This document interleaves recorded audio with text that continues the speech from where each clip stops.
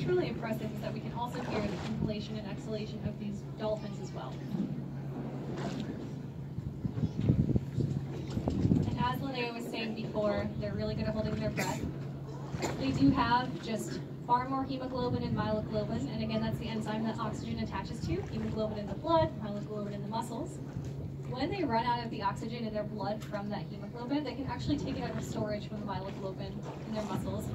Also, when we hold our breath, quickly get that instinct that says, hey, you need to breathe now, please do that. That message from our brain, that's because of the dissolved